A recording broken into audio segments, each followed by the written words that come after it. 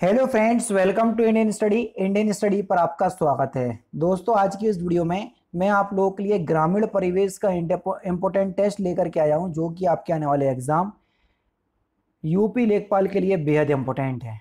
तो वीडियो को एंड तक जोड़ देखिएगा, क्योंकि लास्ट में मैं आपसे क्वेश्चन भी पूछूँगा और उसका आंसर आपको कमेंट बॉक्स में बताना होगा। साथ ही साथ इस वीडियो की पीडीएफ डिस्क्रिप्शन में टेलीग्राम चैनल का लिंक दिया हुआ है, आप प्राप्त कर सकते हैं। तो चलिए दोस्तों स्टार्ट करते हैं। और देख लेते हैं पहला क्वेश्चन।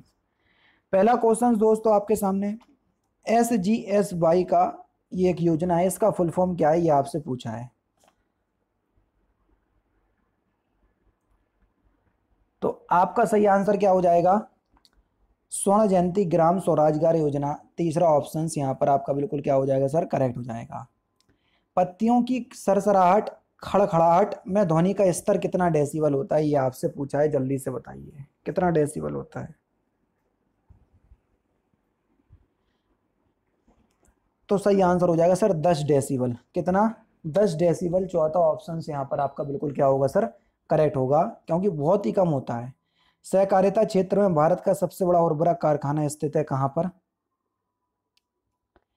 तो ये फूलपुर में स्थित है, जो कि उत्तर प्रदेश में है, पहला ही ऑप्शन करेक्ट बसरा किस पक्षी की उत्तम प्रजाति है? बढ़िया क्वेश्चन जल्दी बताएँ। तो आपका सही आंसर क्या हो जाएगा? बसरा किस पक्षी की उत्तम प्रजाति है?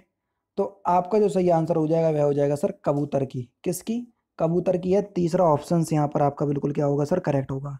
नेक्स्ट क्वेश्चन स्टार्ट करने से पहले मैं आपको बता दूँ दोस्तों, आज हम बात करने वाले हैं उत्तर प्रदेश लेखपाल के एक बेस्ट बुक के बारे में, जो कि चक्षु प्रकाशन की है। ये बेस्ट बुक क्यों है, वो अभी हाल ही में आपको बता देता हूँ। आप सभी लोग जानते हैं, ग्राम समाज एक ऐसा टॉपिक है, जो केवल लेखपाल में ही पूछा जाता है। तो इसलिए आपको इसकी प्रॉपर और अच्छे से तैयारी करने के लिए ये बुक आप लोगों के लिए बहुत ही ज़्यादा हेल्पफुल होगी, है ना? और बेस्ट बुक क्यों है, वो मैं आपको बताता हूँ। क्योंकि इस बुक को पुराने पेपर को, यानी कि जो पुराना पेपर जो प्रीवियस ईयर में हो चुके हैं, उसको ध्यान में रख करके ये तैयार की गई है। दो सॉल्व पेपर आपको मिल जाएँगे, जिससे आपको ये पता चलेगा खुद कि ये बुक में जो मटेरियल आपको या जो कंटेंट आपको प्रोवाइड करवाया जा रहा है एक्चुअल में आप लोगों के लिए यूज़फुल है या नहीं तो उससे आपको ये पता चल जाएगा। ग्यारह से ज़्यादा जो आपके क्वेश्चंस आ चुके हैं पिछली परीक्षाओं में, वो क्वेश्चंस इसमें समाहित हैं। और ग्राम समाज के जितने भी टॉपिक हैं, वो बिल्कुल थ्योरी वाइज अच्छे से इसमें समाज जो है, वो बताए गए हैं। ये इसका इंडेक्स है, बाकी मैं आपको बताता हूँ। इंडेक्स के बाद अगर आप फ़र्स्ट चैप्टर पे आएँगे तो देखो, सारी चीज़ जो है वो बिल्कुल डिस्क्रिप्टेड वे में आपको समझाई गई है, जिससे आप जो है वो बहुत अच्छे से अपने ग्रामीण समाज की तैयारी कर सकते हैं, ठीक है? जो कि ये लेखपाल के लिए यूज़फुल होगा। जब आप ये तैयारी कर लें तो आपको प्रैक्टिस सेट की भी आवश्यकता होगी। तो चक्षु पब्लिकेशन है आप लोगों के लिए प्रैक्टिस सेट भी आप लोगों को प्रोवाइड करवाया जाता करवाता है, जिसमें 25 प्रैक्टिस सेट और दो सॉल्व पेपर आपको मिल जाएँगे। और कहीं अगर आप लेखपाल की पूरी तैयारी करना चाहते हैं तो आपको ये गाइड बुक जो है वो परचेज करने चले पर, करना पड़ेगी। ठीक है? तो आप प्रॉपर जो है वो लेखपाल की तैयारी कर पाएँगे। ध्यान रखिएगा किसी भी ऑफलाइन स्टोर से आप परचेस कर सकते हो कहीं भी कोई भी दिक्कत नहीं है। प्रॉब्लम हो रही है डिस्क्रिप्शन में लिंक है तो चेकआउट कीजिएगा वहाँ से भी आप परचेस कर सकते हैं अमेजोन फ्लिपकार्ट जो भी आपको ठीक लगे जो आप लोगों के लिए सुइटेबल हो। नेक्स्ट क्वेश्चन से आपको जीवन रक्षक अथवा बचाव सिंचाई इंगित करती है। क्या? तो सही आंसर हो जाएगा, क्रांतिक समृद्धि अवस्था पर सिंचाई को इंगित करती है, चौथा ऑप्शन करेक्ट राष्ट्रीय वन नीति के अनुसार देश के कुल भौगोलिक क्षेत्रफल के कितने परसेंट भाग पर वन होना चाहिए? तैतीस परसेंट है तो एक बटे तीन भाग पर, चौथा ऑप्शन करेक्ट सुराहताल पक्षी विहार स्थित है कहाँ पर? तो सही आंसर होगा बलिया में, पहला ऑप्शन करेक्ट निम्नलिखित में से कौन सा वृक्षीय सब्ज़ी है? कौन सा वृक्ष सब्ज़ी के रूप में यूज़ किया जाता है?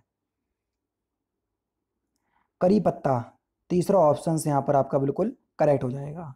पुरुष साक्षरता में। राष्ट्रीय स्तर पर उत्तर प्रदेश का कौन सा स्थान है? बढ़िया क्वेश्चन जल्दी बताएँ। तो आपका सही आंसर क्या हो जाएगा सर ऑप्शन नंबर सी उनतीसवा। तीसरा ऑप्शन करेक्ट गन्ने की अड़साली फ़सल पकने के लिए कितना समय लेती है? डेढ़ वर्ष का समय लेती है यह दूसरा ऑप्शन करेक्ट उत्तर प्रदेश की पहली जनसंख्या नीति किस वर्ष में घोषित की गई थी? जल्दी बताओ। सही आंसर हो जाएगा ग्यारह जुलाई 2011 में। तीसरा ऑप्शन बिल्कुल करेक्ट मक्का, आलू, गन्ना, पेड़ी, गेहूँ की गहनता है कितनी? सही आंसर होगा 200 परसेंट, चौथा ऑप्शन करेक्ट राम कथा संग्रहालय कहाँ पर स्थित है? तो ये अयोध्या में स्थित है, चौथा ऑप्शन बिल्कुल करेक्ट उत्तर प्रदेश का कौन सा जिला सूरमा उद्योग के लिए प्रसिद्ध है? वरेली, पहला ऑप्शन करेक्ट निम्नलिखित में से कौन जरीफ से संबंधित नहीं है?